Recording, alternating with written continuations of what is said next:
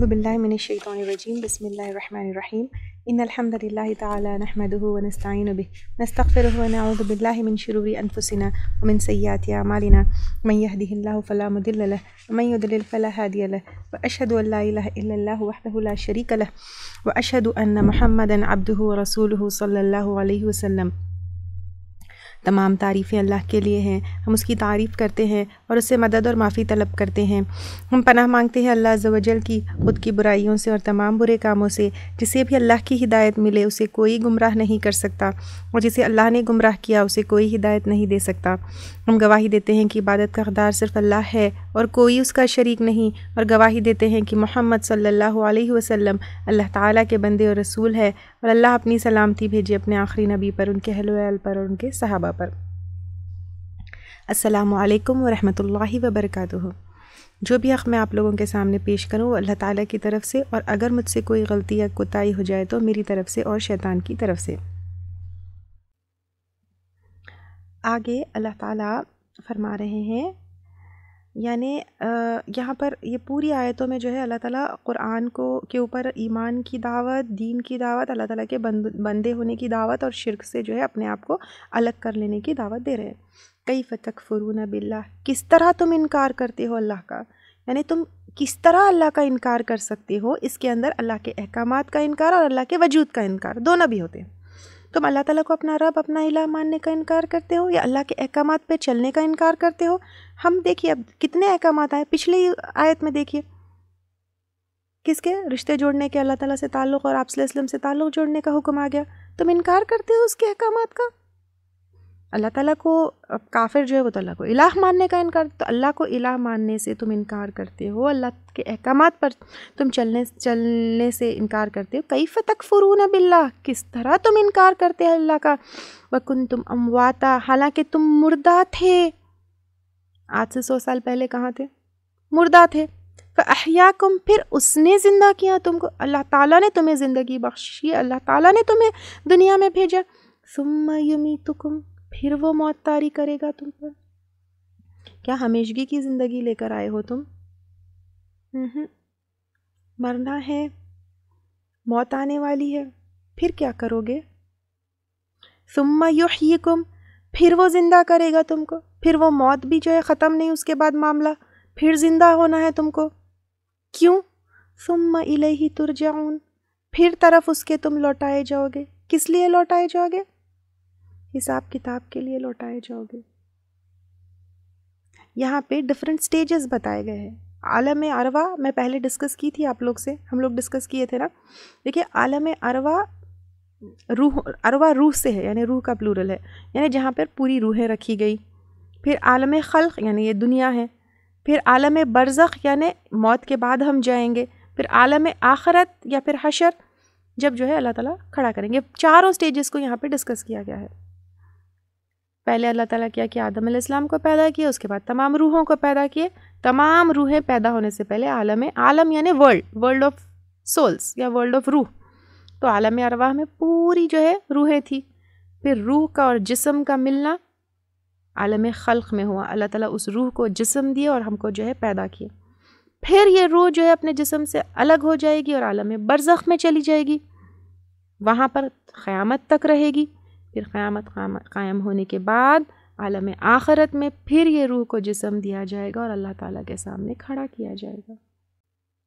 تمہیں یہ تمام سٹیجز سے گزرنا ہے۔ آج تم عالم خلق میں ہو تو یہ ہمیشگی کی نہیں ہے۔ اور تم اپنے آپ کو اتنا پاورفل مت سمجھو، اتنا اسٹرانگ مت سمجھو۔ کل تم کچھ نہیں تھے، اللہ تعالیٰ نے تمہیں عطا کیا۔ آج تم ہو، کل پھر مرو گے، پھر کھڑے ہوگے، پھر اللہ کے سامنے کیا منہ دکھاؤ گے۔ الذی خلق خلق لکم وہی ہے جس نے پیدا کیا تمہارے لیے، ما فی الارض جمیعا، زمین میں سارے کا سارا۔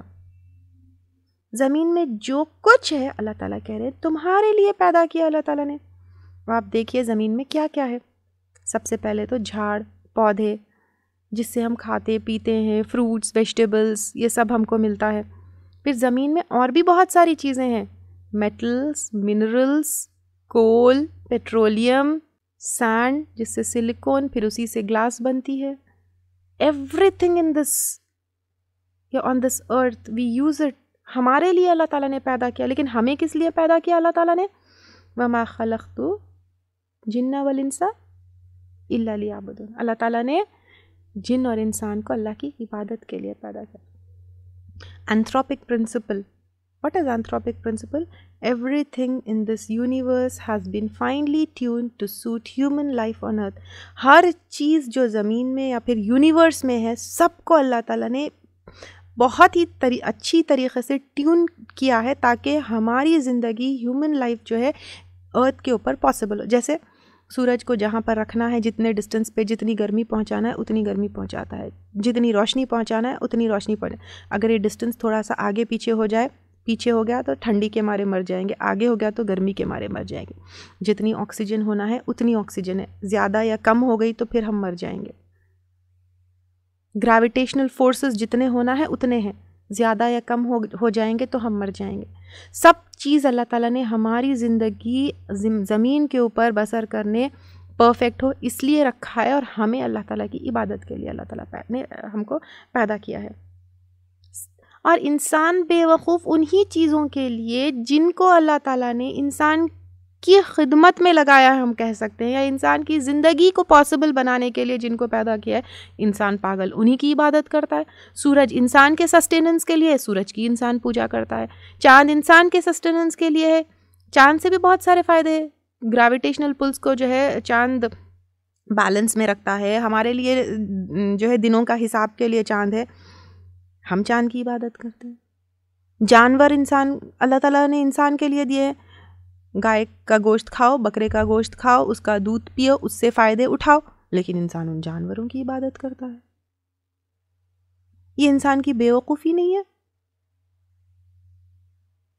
ولدی خلق لکم ما فی الارض جميعا، زمین میں سب کچھ جو ہے، اللہ تعالیٰ نے سارے کا سارا ہمارے لیے پیدا کیا ہے۔ ثم استوى الى السماء پھر وہ متوجہ ہوا آسمان کی طرف پسوا ہن سبع سماوات، پھر اس نے برابر کر دیے ان کو سات آسمان۔ اب اللہ تعالیٰ نے زمین میں سب کچھ جو ہے ہمارے لیے بنایا، پھر سات آسمان بنائے۔ اب یہاں سے پتہ چلتا ہے کہ اللہ تعالیٰ نے پہلے زمین بنائی، پھر آسمان کو درست کیا۔ اب سات آسمان جو ہے، یہ کیسے ہے؟ کیا ہے؟ کون سے لیولز ہے وہ اللہ تعالیٰ بہتر جانتے ہیں۔ اچھا ایک چیز یہاں پہ کیا ہے؟ زمین بنائی، پھر آسمان کی طرف متوجہ ہوا متوجہ ہوا یعنی آسمان کو پھر کمپلیٹ کرنے کے لیے وہاں پر ارادہ اللہ تعالیٰ نے کیا، ریز اللہ تعالیٰ، اب وہ کیسی کیفیت ہے؟ اللہ تعالیٰ بہتر جانتے ہیں۔ کیونکہ اللہ تعالیٰ کو ہم دیکھے نہیں، اللہ تعالیٰ کیسے یہ کام کرتے ہیں؟ اس کو ایکسپلین کرنا یا پھر اس کے ڈیٹیلز میں جانا ہمارے لیے درست نہیں۔ وہ ہوا بکل شعین علیم اور وہ ساتھ ہر چیز کے خوب علم رکھنے والے ہیں۔ جب اللہ تعالیٰ یہ زمین کو اور آسمان کو بنا سکتے ہیں، تو اللہ تعالیٰ ساتھ ہر چیز کے خوب علم رکھنے والے ہیں۔ ہمارے دل میں کیا ہے؟ ہم کیا کرتے ہیں؟ اللہ تعالیٰ کی کتنی نافرمانی کرتے ہیں، کتنی ناف، جو ہے، فرما برداری کرتے ہیں، کتنا جھکتے ہیں، کتنا نہیں جھکتے ہیں، کتنا دکھاوے سے ہے، کتنا دل سے ہے، کتنا اخلاص سے ہے۔ کتنا اس کو راضی کرنے کے لیے ہے؟ سب اللہ تعالیٰ جانتے ہیں۔ ہمارے پریفرنسز کیا ہے؟ ہمارے پریورٹیز کیا ہے؟ ہم اس کتاب کے اوپر کتنا ایمان لاتے ہیں؟ اس کو کتنا امپورٹنس دیے ہوئے اللہ کے اوپر کتنا ایمان لاتے ہیں؟ اللہ کی بات کتنا مانتے ہیں؟ کتنا مان کر، کتنا عمل کرتے ہیں؟ کتنا مان کر ایک کان سے سن کر ایک کان سے نکالتے ہیں۔ سب کچھ اللہ تعالیٰ علم رکھنے والے ہمیں کیا کرنا ہے؟ جھکنا ہے۔ کیونکہ اللہ تعالیٰ نے یہاں پر ہمیں اپنی عبادت کے لیے بلایا ہے۔ اور عبادت کیا ہے؟ کمپلیٹ سبمیشن ٹو اللہ سبحانہ تعالیٰ۔ چاہے وہ دنیا کا معاملہ ہو، لین دین کا معاملہ ہو، یا فارمل عبادتیں جیسے نماز، روزہ، زکوٰۃ، حج کا معاملہ ہو۔ ہر معاملے میں ٹوٹل سبمیشن وائی بیکاز اللہ تعالیٰ نے ہمیں پیدا کیا، ہم سے پہلوں کو پیدا کیا، ہمارے لیے رزق عطا کیا، ہمارے لیے پانی برسایا۔ اللہ تعالیٰ نے کیا ہم اللہ کا حق نہیں ادا کریں گے؟ ہم مردہ تھے، زندہ کیا، پھر ہمیں موت دے گا، پھر زندہ کرے گا۔ وہاں حساب کتاب دینا ہے، کیا ہم اس اللہ کے سامنے جھکیں گے؟ نہیں۔ کیا اس کے ساتھ کسی اور کو شریک ٹھہرائیں گے؟ نو۔ زندگی دینے والا صرف اللہ ہے، تو صرف جھکنا اس کے سامنے ہے، مانگنا اس سے ہے۔ کسی اور سے نہ دعا، نہ کسی اور سے منت۔ اس سے وعدہ ہم نے کیا۔ لا الہ الا اللہ، محمد الرسول اللہ۔ وعدے پہ کتنے ٹکے ہوئے ہیں؟ یہ دیکھنا ہے۔ پھر اللہ تعالیٰ نے حکم دیا۔ کس کا؟ جوڑنے کا تعلق اللہ تعالیٰ سے، آپ صلی اللہ علیہ وسلم سے اور رشتہ داروں سے۔ اس معاملے میں ہم کیا کر رہے ہیں؟ اپنے آپ کو ہم کہاں لے جا رہے ہیں؟ اللہ نے جہنم کا بھی ڈسکرپشن دیا، اللہ تعالیٰ نے جنت کا بھی ڈسکرپشن دیا۔ ہم اپنے آپ کو کس چیز کے لیے پریپیئر کر رہے ہیں؟ جنت کے لیے یا جہنم کے لیے؟ جنت تو اتنی پیاری ہے، اس میں پھل ہے، اس میں بیویاں ہیں، اس میں ہمیشہ رہنا ہے۔ اور جن، جہنم کیسی ہے؟ آگ ہے، ایندھن اس کا جو ہے انسان ہے اور پتھر۔ ویسے جہنم میں جانے کی تیاری کر رہے ہیں یا کیا؟ اور فاسقین؟ وہ قرآن پر ایمان لانے والے نہیں ہیں، یہاں پر کہا جا رہا ہے۔ اور ان کے صفات یہاں پہ بتا دی۔ ہم کس کیٹیگری میں ہیں؟ اللہ تعالیٰ ہمیں متقین کی کیٹیگری میں شامل کر لے اور جنت کا مستحق کر لے اور اللہ کے سامنے جھکنے والا کر لے اور اس کی رضا کے لیے اپنی زندگی گزارنے والا بنا دے۔